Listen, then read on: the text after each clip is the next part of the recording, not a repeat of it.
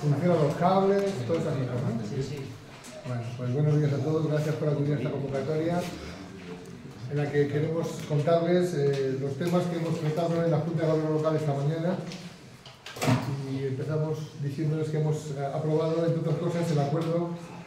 al que hemos llegado eh, con el Colegio de Arquitectos por el que nos hemos comprometido a que todos los arquitectos que trabajen en el ayuntamiento estarán colegiados. Consideramos que llegar a acuerdos es básico en cualquier gestión eh, nada justamente de, la buena marcha de la ciudad y, todo lo que sea sumar, y siempre cuando sea en beneficio de Segovia, pues va a contar con nuestro apoyo y nuestra máxima disposición. Por tanto, lo que hemos hecho ha sido buscar el, acuerdo con el Colegio de Arquitectos, de manera que pudiéramos solucionar ese, ese desencuentro que había.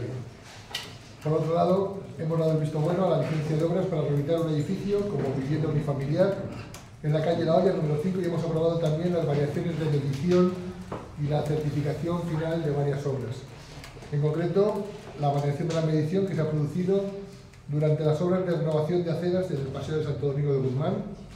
entre la Plaza Oriental y, la calle Carlos Zúñiga, con unos precios contradictorios que ascienden a 4.280 euros y la certificación final de los trabajos por un importe de 15.129 euros. Como recordarán, esta obra se adjudicó por 189.195 euros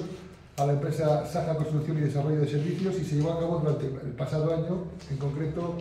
son los trabajos que comenzaron a final del mes de enero de 2023. También hemos aprobado las variaciones de medición que se han producido durante las obras de renovación de redes de asfaltado de la calle Caño Grande por 18.936 euros, un incremento que representa el 9,8% más eh, con respecto al precio por el que se adjudicó la obra, que fue de 193.212. Además, hemos aprobado la certificación final por un importe de 31.012 euros. De la misma forma, hemos aprobado el incremento de medición que se ha producido en las obras para renovar la red de abastecimiento de agua y pavimentación de la calle Tejedores, que asciende a la cantidad de 27.570 euros lo que representa un incremento del 8,50% respecto al presupuesto de adjudicación que era de 324.207 euros y la certificación final de estos trabajos por valor de 27.570 euros. Y por último, otra certificación final de las obras del proyecto de ejecución de aceras nuevas y soterramiento de instalaciones en la calle Real Alta de Zamarramala, entre la Plaza de las Alcaldes y la calle Bachilleres, por 30.553 euros. En otro orden de cosas y dentro del área de, asuntos sociales hemos aprobado en la Junta de Gobierno Local, celebrada esta mañana, la justificación y el abono del 40% restante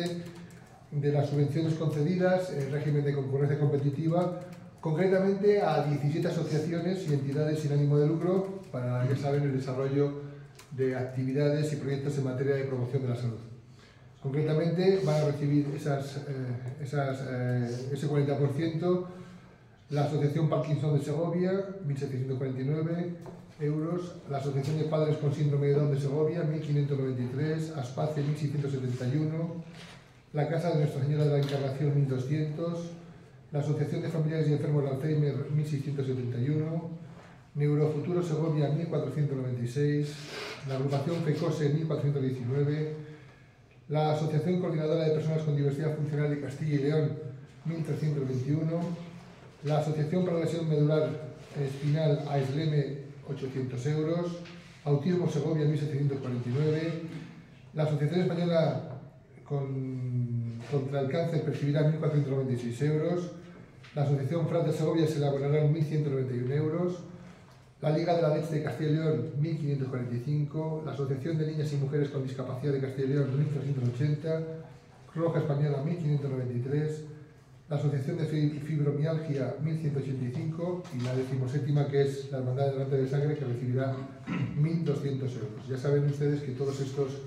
esta justificación se hace a final de año y que por eso ahora es cuando reciben el 40% de la subvención total que se les haya concedido. Por otro lado, también hemos aprobado la justificación de la ayuda concedida a Caritas Diocesana de Segovia para ese programa de atención a personas sin hogar eh, con el pago del 40% que faltaba por abonar la ayuda. En concreto, se le van a pagar 16.800 euros de los 42.005 euros que recoge el convenio. Y por último,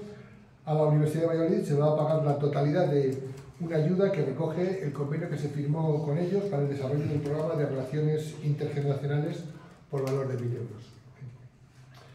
En otro orden de cosas, y también un tema de actualidad, hemos aprobado